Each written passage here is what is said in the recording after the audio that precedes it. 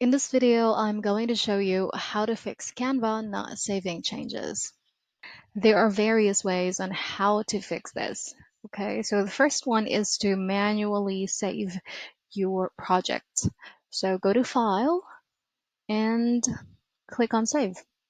And remember that you should see all changes saved at this part. If not, then all changes or the changes are not being saved. Second way is to create a new design file for this project.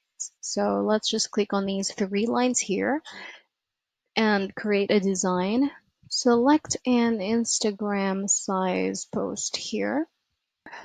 Now this is our new file. So let's click on projects. So select that file that is not saving.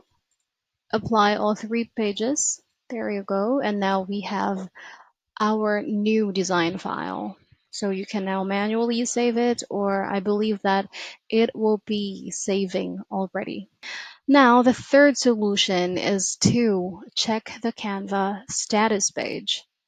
All right, so this is the Canva status. I'll click on the next tab. This is the website. Just type canvastatus.com and you'll be able to see all of this stuff about the site. Is the system operational or are there some bugs, some problems there?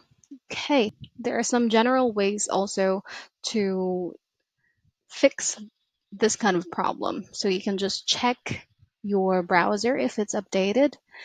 Is it the latest version or not?